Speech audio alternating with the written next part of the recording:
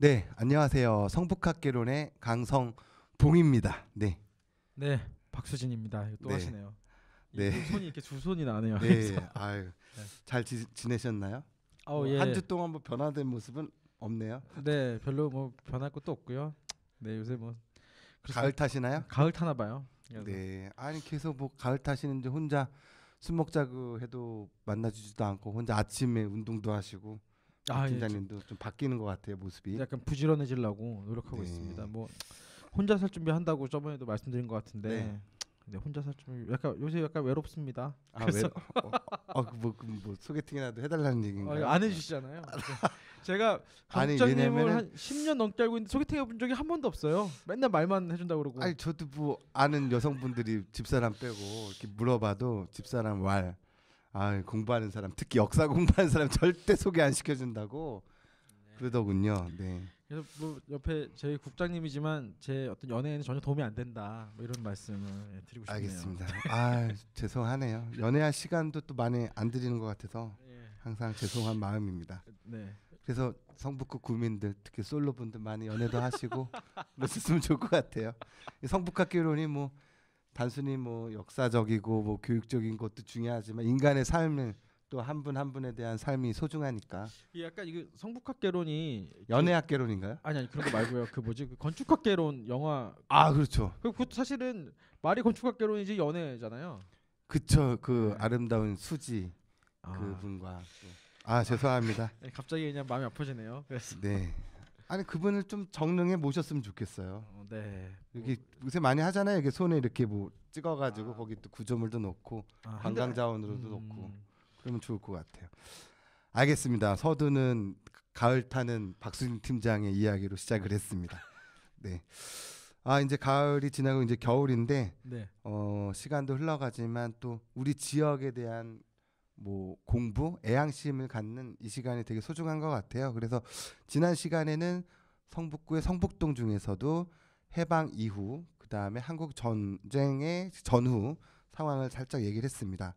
그래서 지난 시간에 조금 어 조종래 선생님의 이제 그 한강 네, 네. 그 작품 속에서 성북동이 묘사되는 네. 설명을 조금 드렸었는데 이 얘기를 조금 더 어, 진행을 하고 네. 어, 다른 이야기를 했으면 좋을 것 같습니다.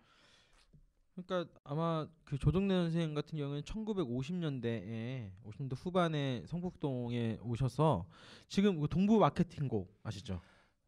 동구 여자 마케팅 네. 네, 그 학교. 예, 네. 거기에 옛날에 그 동구 거기 상업고등학교인가 그랬었는데 거기 선생님을 하셨어요. 아 교사셨군요. 예, 교사셨죠. 그 부인도 같이 직장 동료 아니신가요? 저는 그렇게 알고 있는데. 그건 제가 잘 모르겠습니다. 저도 좀 더 확인해 네. 볼게요. 저는 그렇게 네, 알고 있습니다. 네. 근데 그 그래서 이제 아마 한강이라는 소설을 쓸 때 사실 이제 아리랑이라는 소설이 네네. 이제 그 뭐라 일제 강점기를 주로 다룬다고 하면 태백산맥은 이제 해방 직후의 어떤 모습이죠. 해방 네. 이제 해- 일제 말부터 해방 직후의 어떤 그러니까 빨치산 얘기까지 해서 어떤. 한국 전쟁을 거치면서 얘기라고 하고 한강은 그 다음 이죠. 음, 보통 그렇게 그쵸. 예. 서사적으로 따졌을 때는 한강이라는 작품은 그 이유. 그렇죠. 근데 이제 지필 순서는 태백산맥, 아리랑, 한강인데 네네. 아마 이제 그렇게 되는데 어찌됐건 이제 그 시기에 다른 어떤 직접 보고 들은 성북동 얘기를 아마 쓰신 것 같아요. 근데 보면 여기가 뭐 종암동이나 종암동 사시는 분들 죄송합니다. 종암동이나 우리 백예준 선생이 네. 종암동 사는데. 근데 이제 근데 이거는 이제 소설에 나온 내용이에요. 당시의 얘기입니다. 지금은 아니에요. 근데 네. 종암동이나 뭐 미아동이나. 여기보다 성북동이 낫다. 아 성북동 예찬론자네. 그나마 낫다. 아 그나마 아, 낫다. 어, 여기 다 시골인데 네. 그왜 아, 시골인데 왜 낫냐라고 하면 전차가 다녀서 낫다라는 거예요. 교통 때문에. 예, 전차로 다닐 수 있으니까. 근데 음. 전차비가 좀 쌌나 봐요. 버스비보다. 음. 그러니까 이제 서민들 입장에서는 예, 종암동까지도 버스는 당연히 다녔는데 그러니까 좀 대중교통. 그러니까 다른. 이유가 아니라 예, 그렇죠. 그냥 싼 전차를 이용할 수 있다. 이런 이유로. 근데 그런 관점이 지금도 예를 들면 뭐 아파트 분양이나 이런 거 보면 지하철역 가까운데 그쵸, 역세권이죠. 역세권 예. 이게 높이 쳐주잖아요. 예, 그 예나 지금이나 역시 역세권. 똑같네요. 네, 똑같습니다. 신기합니다. 네. 그리고 또 그 한강이라는 작품 보면 그 지역에서 올라온 학생들이 기숙할 수 있게끔 대학 다닐 때 그렇죠. 그 내용들이 나오는데 정말 제가 신기한 게 어, 성북동에도 그 성북 쉼터 있는데 거기 모 설렁탕집 예, 그 위치가 아마 동천학사 예 동천학사라고 그쵸. 알려져 울산 지역에 올라온 학생들이 머물렀던 곳. 예 지금도 사실 학사들은 좀 남아 있죠 서울 곳곳에. 네네 지금 그쵸. 구청 앞에도 구미 학사가 있는 걸로. 어, 구미 예, 이- 구미 지역에 올라온 학생들이 예 구미 학사가 있어서 그런 어떤 게 있었는데 성북동 지역에도 그런 동천 학사가 있었다. 네. 아니 한강이라는 작품에 그런 내용들이 예. 또 비슷하게 나왔던 것 같아요. 제가 어렴풋이 기억이 나는데 네. 알겠습니다. 또 또 다른 인물이 있잖아요. 그 아까 조지훈 선생님 아까 네. 얘기 나왔는데 또 연결을 해보면 네. 그 유명한 작곡가 현대 음악의 거장 아, 윤희상. 그렇죠. 네. 윤희상 선생님 또 여기 성북동에 또 사셨더라고요. 이게 윤희상 선생 사실 다른 기록이 좀 많이 남아 있지는 않은데 이제 그 약간 슬픈 기록이 남아 있는 게 그 동백님 사건 때 윤희상 선생이 60년대, 이제, 예, 예. 이제 그 구속되신 이제 잡혀가 체포될 때 네. 체포됐던 지역의 이제 심, 그 주소가 성북동입니다. 네. 성북동. 제가 알기로는 어 모 공국수집 네, 최, 것 같아요. 네, 예, 최순의 집 근처에. 있는 네, 네. 그런 집인데 그래서 이제 조준 선생님 집이 그 건너편이잖아요. 그래서 그렇죠. 이제 바로 길 건너서 쪽에 예, 조지훈 집 골목. 그렇죠. 이제 나오죠. 개울을 사이에 두고 이제 두 거장이 네. 시의 거장, 음악의 거장이 사셨던 거죠.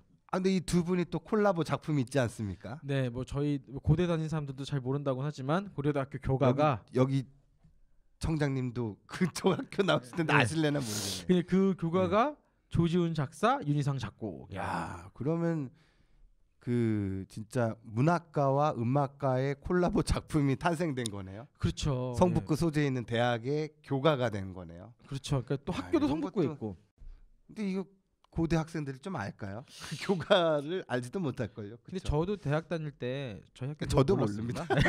저도 몰라요. 네. 뭐 부를 일이 없어요, 사실. 그래서 네. 어린 시절에 국민학교 시절에 국민학교 교가는 좀 기억을 났던 거. 요새는 초등학교라고. 아 세대가 다른 건가요? 예, 초등학교로 나왔나요? 아 저는 국민학교로 나왔는데요. 아, 지금 성급기 하는 겁니까? 아 그게 저랑? 아니고 아, 이제 참. 국민학교가 이제 한국 신민학교의 준말이라서 이제 쓰면 안 된다. 알아요, 거. 예, 알아요, 예. 알아요. 아, 참 그냥 또 괜히 이렇게. 한번 좀 공격해봤습니다. 맨날 제가 당하는 것 같아서. 그래서 아니, 근데 참 그게 이제 나쁜 개념으로 이렇게 일제에 의해서 이렇게 만들어진 건데 참 그 어감이 네, 많이 좀 오는 것 같아요. 그 당시에 이제 국민학교 시절 이런 거 떠올릴 네 차이가 때. 좀 있죠 사실. 근데 네. 이렇게.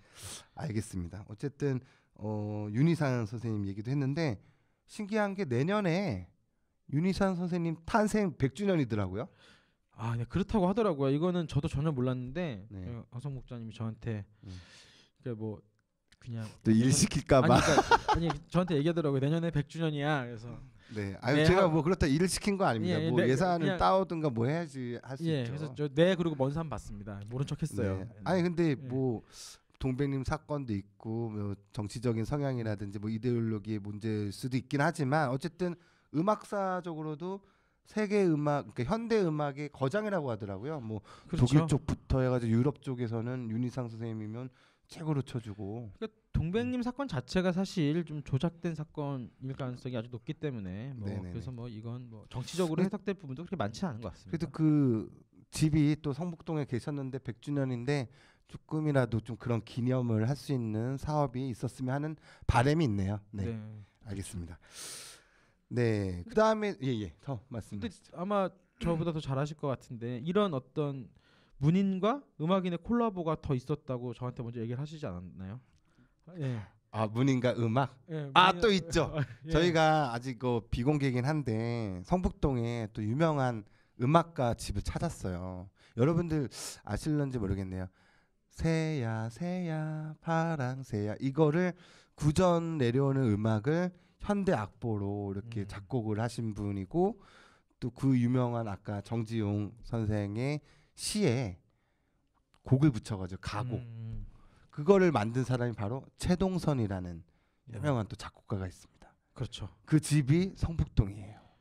그 집이 제가 봤죠 한번 제가 알려드렸는데 네 그래서 어떻던가요? 집이 되게 크고요 일단 한 그다음에 150평 넘는 것 같아요 제가 봤을 때. 예 집이 그러니까 마당까지 포함해서죠. 그쵸. 예, 그리고 2층 집이고요. 일제 시대에 지은 집으로 일제강점기에 지은 그 적산가옥처럼 이렇게 되어 있던 근데 것 그게. 약간 일본식 가옥이랑 독일, 식 예, 가옥이랑 예. 좀 섞여 있다고 그렇게 음. 들은 것 같은데 그때 그래서 저도 찾아봤더니 그분 최동선 선생이 12곡을 작곡을 했는데 아니 가곡을 예, 그, 그 중에 여덟 곡을 정지용 선생님 시로 이렇게 만들었다고 하더라고요. 정지훈 선생이 아마 도남동 살았으니까 아마 그쵸. 이제 왕래가 있지 않았을까라는 추정까지는 아주 좀 네. 확실한 어떤 둘이 만났다라는 근거는 없기 그렇죠. 없지만 근데 그 또 최동 선생님도 어떻게 보면 한국 전쟁 네. 시기에도 돌아가셨거든요.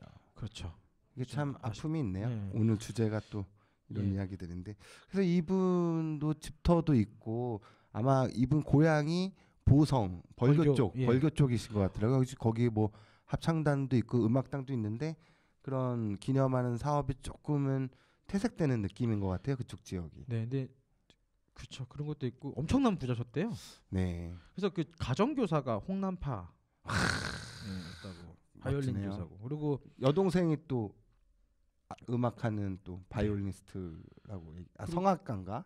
그 저, 저는 아, 저도- 거기까지는 네. 어제 또 요거 마셨더니 또 가물가물하네. 이거 큰일 났네 이거. 아, 근데 이제 시청자들 앞에서. 그게 그 일본의 그 와세다 영문과에 취직 아, 그 이제 유학 갔다가 거기서 이제 네. 미국 갔다 독일에서 음악을 배우고 네네. 이제 돌아왔으니까 그 당시 그 정도 유학을 할 정도 정제력이 됐던 집이라서 네.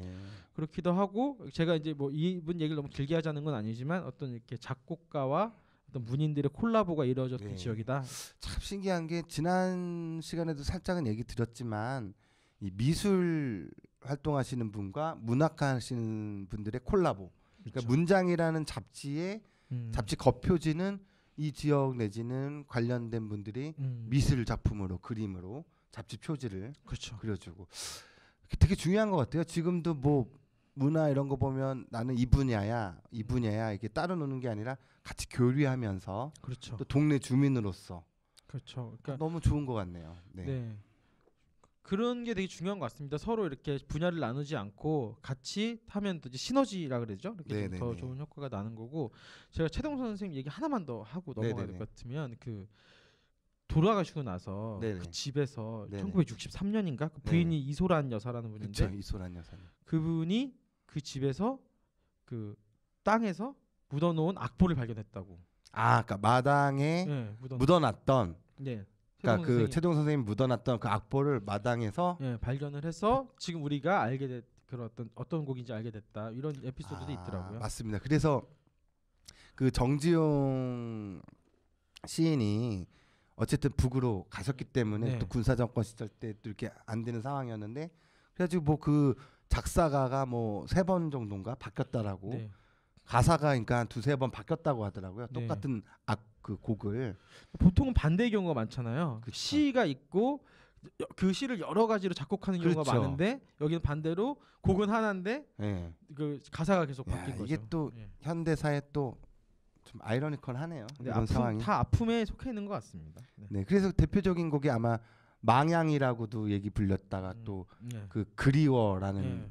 제목이라고도 됐다가 이런 거를 또 내년에 만약에 윤희상 선생님 100주년이고 또 네. 최동 선생님도 집터도 찾고 이런 에피소, 이 에피소드들 찾았으니까 좀 지역의 어떤 음악 관련된 걸로 뭐 음. 축제나 어떤 지역의 일을 좀 꾸리는 네. 것도 좋을 것 같아요. 네. 그러니까 제가 저희가 저뿐만 아니라 문화원 직원분들이 이렇게 새로운 자료를 발굴을 하면 좋긴 좋지만 또 일이 많이 늘어져가지고 네. 늘어나가지고 또 걱정이 또 들긴 하더라고요. 이게. 네. 알겠습니다. 또 그 미술인 분들 중에 또 김기창 하백 또 네, 운보. 김기창 하백도 계시죠. 운보 김기창 그 부인도 박래연이라는 아 박래연 여사님도 예, 근데 사실 김기창 하백 같은 경우에는 귀- 귀가 잘 안 들리셨다고 하는데 박래연 부인 박래연 여사 같은 경우 엄청 부자셨대요. 네. 근데 이제 그럼에도 불구하고 이제 둘이 이렇게 이렇게 뭔가 너무 술한테 빠져가지고 같이 음. 이제 그 사랑에 빠져서 이렇게 이제 지내기도 했고 근데 성북동에 지금도 가면 지금은 어떤 다른 회사 건물로 쓰고 있지만 네. 거기 이제 운우 미술관이라고. 진짜. 여전히 운우 미술관이라고 쓰, 쓰여 있습니다 그 건물. 네. 네. 그래서 한 번쯤 가보면 좋지 않을까. 근데 이제 뭐 김기창 선생 같은 경우는 이제 친일 논란이 이게 되시는 분이기도 하니까 뭐 여러 가지 생각해 볼 수 있기는 합니다. 근데 이제 뭐 아픈 역사도 역사라고 하면 이렇게 한번 또 그런 분들도 여기 사셨다 60년대 음. 이런 것들도 한번 생각해 보면 좋지 않을까 네. 생각합니다. 아, 지금 저희가 이렇게 방송을 해오면서 어떤 인물이나 어떤 그런 공간들 딱 이렇게 이야기를 많이 하고 있는데 나중에 한 20회 이럴 때는 20회나 30회 때는 이런 분들의 그 발자취를 한번 청취자분들 모집을 해가지고 같이 한번 한 바퀴 둘러보면 어떨까요? 그 저는 이거를 20회나 30회를 해야 된다라는 생각이 지금 이 얘기를 듣고 나서 지금 아유 어, 왜 그러십니까? 그래도 어, 청취자분들이 이제 늘어나고 또 어, 박 팀장님 또 사인 받아야 될지도 모르는 상황이고. 지금 20회, 30회 지금 깜짝 놀랐습니다. 지금. 아, 알겠습니다. 네. 네.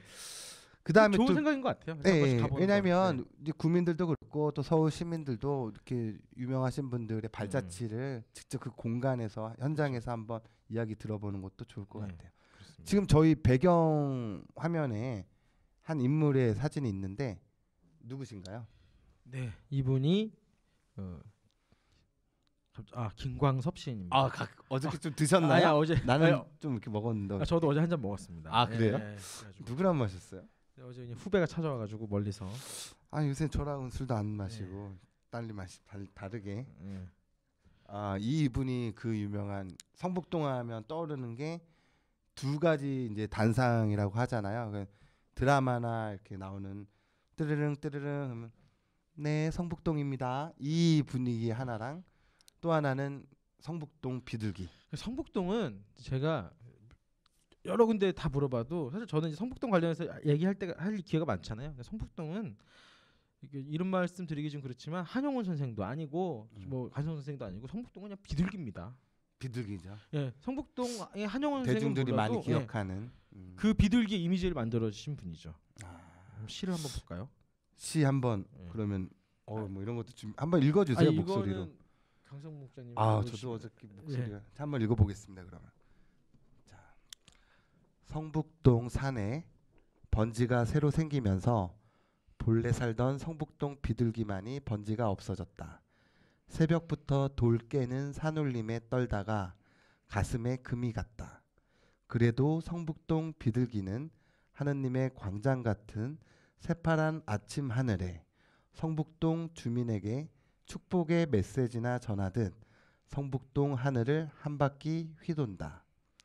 성북동 메마른 골짜기에는 조용히 앉아 콩알 하나 찍어 먹을 넉, 널찍한 마당은커녕 가는 데마다 채석장 포성이 메아리 쳐서 피난하듯 지붕에 올라앉아 아침 구공탄 굴뚝 연기에서 향수를 느끼다가 산 1번지 채석장에 도루 가서 금방 따낸 돌 옹기에 입을 닦는다. 예전에는 사람을 성자처럼 보고 사람 가까이 사람과 같이 사랑하고 사람과 같이 평화를 즐기던 사랑과 평화의 새 비둘기는 이제 산도 잃고 사람도 잃고 사랑과 평화의 사상까지 낳지 못하는 쫓기는 새가 되었다. 목소리가 이게 낭낭해야 되는데 아, 아니 저보다 훨씬 낫습니다. 아, 저는 사실 제가 강국장님한테 부탁을 하고 나서 좀 걱정을 했거든요. 네네네. 아니야 왜냐면 저- 제가 너무 좀 갑- 갑자기 무리한 부탁을 드린 게 아닌가 했는데 네. 저보다 훨씬 잘하신 것 같아요. 아닙니다. 제가 이게 각도가 뒤에 화면을 보느라고 이게 아니 근데 안 보여가지고. 저는 이렇게 읽는 걸 잘 못 읽어서 막 버벅대거든요. 네. 근데 이제 근데 이게 시 내용을 보면 또 마음 한쪽으로는 좀 좀 슬프네요. 조금. 제가 예전에 그 작년인가요? 그 최성수 선생님이라고 예, 성북동천 성- 활동 네. 열심히 하시고 교사도 하셨고. 시인이시고 네, 그, 네. 그분을 이제 인터뷰한 적이 있는데 그게 제가 이제 여러 인물들 얘기를 다 이제 나누다가 성북동을 대표하는 작품이나 문학인이 뭐냐, 그러니까 어떤 문학적인 어떤 걸 다 떠나서 성북동이라는 동을 볼 때, 네. 그러니까 딱 그렇게 얘기하시더라고. 성북동이라는 걸 다 떠나서, 그러니까 문, 성북동이라는 것만 뭐가 보면 좋고 옳고 뭐 뭐, 가리고 네. 이런 걸 떠나서 성북동이라는 것만 보면 역시 성북동 비둘기다라고. 얘기하시더라고요. 근데 왜냐하면 여기에 와 모이는 이제 사람이 떠나가고 비둘기가 떠나가고 이런 것들이 지금도 슬프게도 유효하다는 거죠. 그렇죠. 예, 예, 그때도 유효했지만 한편으로는 참 그러니까 마음이 아픈 시입니다. 이게 되게 첫 줄이 딱 와닿는 것 같아요. 성북동 산에 번지가 새로 생긴다라는 거는 기존에 그냥 산 하나 있던 거가 이제 사람들이 오는데 조각조각 조각 되면서 모여들고 또 그렇죠. 중간에 또 채석장 포성 소리도 들리고 네.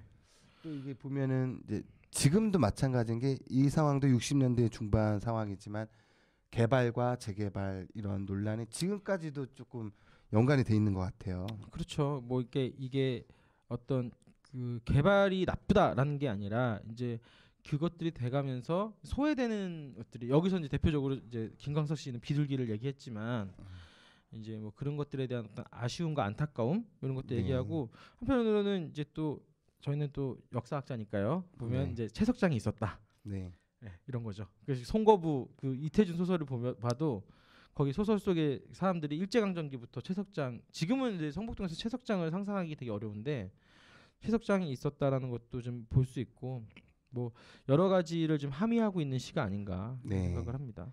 또 이분이 또 김강섭 시인은 성북동에 거주하셨잖아요. 한 6, 7년 사신 걸로 알고 있는데 네, 1961년부터 66년까지 네. 거주를 했고요. 그 정말 안타까운 게 이 집을 건축해 주신 분이 그 유명한 김중업이에요. 어, 건축가의 뭐 거의 1.5세대 네, 뭐 이렇게 그할 정도. 수 있겠네요. 네. 네 그런 분인데 그분이 너무 훌륭한 건축가이기도 하고 이제 친구라서 집을 지어줬다고 하는데 아쉬운 건 그 집도 지금은 다 사라졌습니다. 빌라처럼 되어 있더라고요. 예, 그쵸? 빌라가 들어섰죠. 예, 좀 아쉽게 됐죠. 네. 그 당시가 이제 성북동도 이제 풍치 지구에 대한 시기가 이제 해제되는 분위기면서 네. 사람들이 모여 나가고 또 특히 지금도 뭐 대사관저가 많지만 네. 이때 아마 10만 평 정도가 외국인 주택 단지 이렇게 예. 책정이 된 것 같아요. 그러니까 이게 이제 풍치지구가 뭐냐면 이제 그 일제강점기 더 일제강점기부터 이제 있었던 건데 그 전에 보안님이라 그랬대요. 그래서 이제 수도의 경관을 좀 보아 보호하기도 하고 어떤 그러니까 지금으로 따지면 약간 그린벨트 느낌도 좀 있고 그러면서 이제 진짜 보안 그 외부에서 들어온 사람들을 좀 막기 위한 어떤 숲 같은 거를 마련해 뒀다고 하는데 그게 이제 해제되는 게 60년대 중반 이후죠. 60년대 네. 한 67년, 8년 뭐쯤부터 어떤 이제 풍치지구 해제되면서 그쪽에 이제 그쪽 개발이 본격적으로 이루어진 거죠. 그 전까지는 그냥 몇몇 부자들의 네. 별장들이 있었다고 하면 그때 그래서 외국인 주택 단지로 개발이 됐대요. 네. 아까 강 국장님 얘기하신 것처럼. 그래서 그 60년대 중후반이 이렇게 되면서 결정적인 게 아마 70년도에 삼청 터널이 개통되면서 오히려 이제 흔히 얘기하는 대기업 뭐 회장님들부터 해가지고 대학 교수, 고급 공무원 이런 분들이 일로 많이 오게 된 계기가 되지 않았나. 예, 근데 그게 아주 결정적인 건 맞는 것 같습니다. 왜 그러냐면 성북동이라는 동네가 사실은 이제 그 상천터널 뚫리기 전에는 다 뭐 잘 아시겠지만 내려와서 그 성북천 따라서 쭉 내려와 가지고 해암은 쪽으로 넘어서 이렇게 시내로 들어가야 되는데 삼청 터널이 뚫리고 나서는 차만 있으면 우리 이분들은 다 음. 부자니까 차가 있었을 거 아닙니까? 그렇죠. 바로 종로로 가는 거예요. 바로 경복궁역 교통도 청와대- 막히지도 않고 둘러가지도 않고 그냥 그렇죠. 그렇죠. 북악스카이길. 예. 예, 그리고 심지어 일로 오면 조용하고 아, 그 사생활이. 사생활이 보호가 되는 어, 거죠. 그렇죠.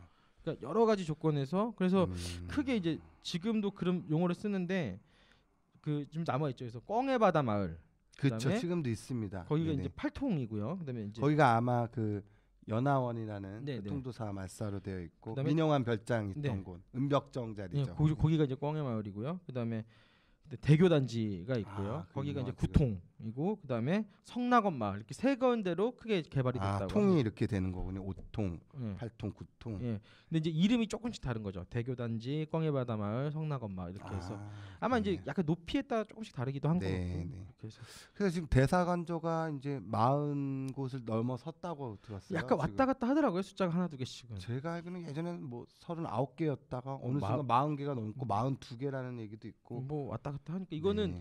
제가 그래서 이거 몇 개라고 설명을 못 드리는 게 좀 이렇게 얘기를 했더니 옆에서 다른 공무원이 두 개 늘었어요 이러더라고요. 그게 늘었어요. 아, 네, 네, 그래가지고. 예, 이게 몇 개라고 막 그냥 약 40여 개다 이렇게 이렇게 얘기하는 게 예, 그렇게 해야 됩니다. 네. 이게.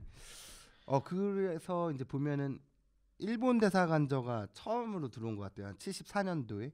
그러니까 그렇죠. 그리고 지금도 있는데 이제 지금은 독일 연방 대사관적으로 돼 있지만 당시에는 서독 대사관적으로 아 맞다. 그때는 이제 통일되기 전이었으니까 서독 70, 대사관. 76년 이 정도였던 것 같습니다. 네. 그거를 기점으로 이제 다른 나라에 이제 대사관저들이 이제 많이 유입이 된 거군요. 그러니까 외국인 주택 단지가 이제 성 설립되고 교통이 또 70년대 삼청터널 뚫리고 여러 가지 조건들이 이제 맞, 맞아지면서 음. 이제 뭐 이렇게 좀 좋아졌던 부분이 있지 않나 아, 그. 얘기를 까, 빠뜨린 것 같아요. 저희가 70년대 들어가기 전에 68년도에 또 121 사태. 요 아, 얘기는 그렇죠. 한번 해야 될 것 같네요. 깜빡했네. 네, 그 121 사태라고 하면 사실 121 사태라고 하면은 저도 잘 몰랐어요. 근데 이제 음, 김신조 사건 네. 이렇게 하면 나중에. 또 목사님도 네 하셨고. 되셨고요. 예. 사실 근데 그 대한민국 남자들에게 김신조라는 분은 물론 이제 지금 훌륭하게 살고 계시지만 이제 아픈 추억을 주신 분인데 왜냐하면 제가 알기로는 김신조 사건 이후에 121 사태 이후에 북한의 훈련이 어떻게 하는지를 이렇게 들었을 거 아니에요 잡아서 네네네. 그리고 나서 생긴 훈련이 유격 훈련입니다. 아 그럼 그래서 우리 군대 가면 훈련할 때 유격 제대할 때까지 두 번을 하느냐 뭐한세 번을- 하느냐 한 네. 번을 하느냐 갖고 젊은 청춘 시절에 막 그렇죠. 고민했었는데 그게 그래서 생긴 거라고. 아 그 유격이 그것 어, 때문에 생긴 정말 거군요. 예, 어, 저 너무 힘들었거든요. 그래서 여기도 북악스카이나 교수단지나 다 영향이 있었잖아요. 네, 사실 이게 이제 121 사태를 겪고 나서 이제 그121 사태라는 건 쉽게 말하면 이제 북에서 이제 그런 특수부대를 내보내서 그 당시 대통령이었던 박정희 대통령을 암살하려고 했는데 마침 그 부암동 근처에서 이제 그 검문에 걸려서 총격전이 됐다. 총격전이 벌어져서 이제 청와대 바로 예. 바로 앞까지 왔다고. 그래서 사실 그 사건 때문에 지금 북악산이 통제가 됐었던 거거든요. 네. 네. 그렇게 됐고 근데 이제 그것 때문에 생긴 게 북악 스카이웨이입니다.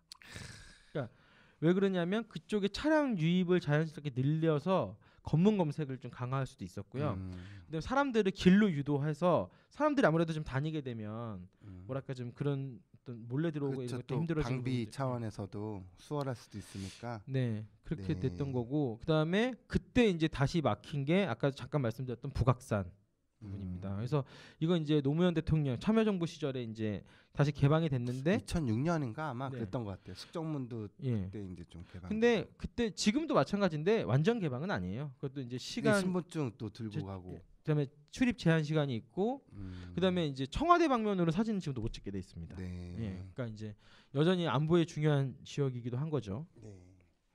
네. 알겠습니다. 또 그렇게 해서 이제 70년대 이제 대사건조 유입, 그다음에 어 고급 빌라촌이라든지 이런 또 그 부유층들이 많이 유입이 되고 네. 그렇죠.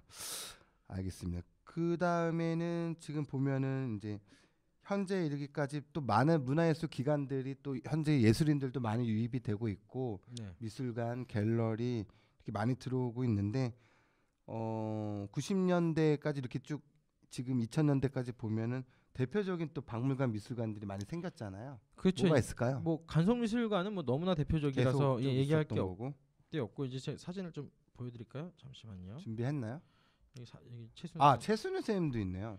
예 음. 최순 선생님 여기 이 아니 아, 요거 사진. 아니, 가구박물관부터 먼저 생긴 거니까요.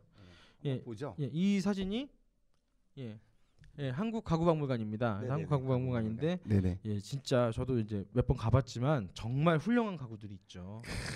네, 저런 데 살고 싶지 않나요? 전못 살 것 같습니다. 너무 부담돼가지고. 아, 예. 너무 좋아요. 보, 예, 그림으로 예, 보기만 예, 해도. 한국에 정말 최고의 가구들이 있는 게 한국 네. 가구박물관이고요. 또 뭐가 있을까요? 그다음에 아제 사진 순서대로 안 돼 있어서 어, 이분은- 죄송합니다. 아, 이, 아, 이분은 이제 간송 전현필 선생님이시고요. 네. 아, 젊으셨을 때 사진이고. 요게 이제 보화각 간송미술관입니다. 네. 이것도 이제 유명한 건축가 박길용 선생이 네. 건축한 걸로 되어 있죠. 이분은 이제 그 김용준 선생이고요. 뭐 잠시만요. 사진이 안 아, 그. 준비를 좀 하시긴 했네요. 아니, 뭐 그냥 아주 날로 먹는 줄 아, 알았어요. 아주 아주 안 하진 않았습니다. 네. 아 잠시만 뒤로 가야 되겠다. 네. 이분이 이태준이요. 아 이게 이제 최근에 네. 만들어진 우리 옛돌 박물관입니다. 우리 옛돌 박물관이 약 한 5,500평 된다고 네, 하더라고요. 네. 그러니까 이렇게 사실 이 작은 그러니까 하나 일개 동에 그렇게 이렇게 큰 규모의 박물관이 두 개나 있고 근데 간송미술관이라는 엄청난 또 그렇죠. 기관이 있는 게 많. 성북구에 뭐 진짜 보배라고 해야 되나요? 이렇게 문화 자원도 많고 이런 또 살인 그렇죠. 내지는 또 관련된 이런 기관들이 있다라는 거는 자랑스럽고 네. 또 이렇게 뭐 작지만 또 아담하게 또 갤러리들도 많이 생기고 그렇죠. 예, 좀 변화상이 이제 많이 바뀌는 것 같아요. 그리고 사실 그 이제 그리고 성북 동을 떠나 성북구에 이제 문화 단체들도 많이 생겨서 뭐 저희가 일하는 성북 문화원도 올해가 20주년이죠. 그러네요. 예. 저희가 96년 12월 19일 날 개원이 됐으니까 네. 20주년 행사 20주년 행사를 하고 있는데 예. 준비를 하고 있는데 그것 때문에 또 저희들이 예. 힘듭니다. 네. 네. 그리고 2012년 9월인가요? 성북 문화재단 문화재단도 도 출발이 생겨서 됐죠. 예, 지금 뭐 워낙 또 활발한 활동 열심히 하고 계시고 네. 저도 2012년 9월에 왔습니다. 네. 네. 네, 뭐 그렇군요. 네. 네. 어, 썰렁합니다. 네, 근데 그러니까 아무튼 이렇게 문화원, 문화재단 이렇게 다 열심히 하고 또 그뿐만 아니라 뭐 예술단체 또 뭐 공예. 원탁 회의도 있고 예술인들도 많이 오고 갤러리들도 많이 그리고 오고 뭐 무슨 각종 협회들도 많이 있잖아요. 네. 연극 협회, 맞습니다. 뭐, 연극 협회 또 연극인들도 많이 계시고 국악 협회 뭐 사진가 협회 음. 어, 많네요. 그러니까 이런 어떤 그러니까 현재 성북동 성북구라고 하면 사실은 네. 이런 어떤 문화 예술인들의 어떤 커뮤니티 공간이었다고 아, 저희가 이제 그 말씀드렸는데 그런 전통들이 지금까지 와서 이런 지금도 커뮤니티 공간이고 그다음에 아까 저희가 잠깐 언급했던 성북동천이라는 또 곳도 계시잖아요. 그다음에 정릉에는 또 정릉 포럼도 있고요. 네네. 뭐 여러 가지가 있는데 이렇게 이런 어떤 전통들이 이어져서 성북구라는 동네는 제가 이렇게 살고 있고 그래서 일도 하고 있지만 네. 어, 너무 좋은 동네가 아닌가. 알겠습니다. 합니다. 또 성북동 주민이시다 보니까 예찬으로. 성북동 예찬론자가 됐네요. 그래도 어, 시간이 지금 거의 다 돼서 나중에 또 성북동 관련된 이야기를 좀 더 하고요. 또 어, 젠트리피케이션 문제도 있으니까 그런 건 좀 나중에 또 한번 시간을 갖도록 하고요. 오늘 이 시간까지로 해서 일단은 성북동의 큰 흐름들 시대별로 어, 어떤 사건과 인물과 또 음. 변화상이 있었는지를 한번 어, 가늠해 봤습니다. 그래서 이렇게 일단 성북동을 좀 정리를 하고 또 나중에 다른 지역 동을 또 한 바퀴 돌고 다시 한번 관련된 어, 성북동 이야기들을 어, 준비하도록 그러면 하겠습니다. 다음 시간에는 어디를 하실 건가요? 다음 시간에는 제 마음대로인데요. 정릉동 한번 해보죠. 정릉동. 예, 어 이렇게 막 던져주는 예, 거예요? 정릉동으로 또 하시죠. 아니 또 아, 정릉동이 또 1동, 2동, 3동, 4 인구들도 아. 많고 또 문화유산도 많고 또 이야기거리가 아, 여러분 저는 많으니까. 지금 진짜 지금 알았습니다. 그래가지고 정릉 갑자기 하라 그러네요. 네. 알겠습니다. 오늘 이 시간 이렇게 마무리할 거고요. 다음 네. 시간부터는 정릉동을 소재로 어, 준비하도록 하겠습니다. 예, 잘 준비해 오겠습니다. 갑자기. 네. 네, 감사합니다. 감사합니다. 네.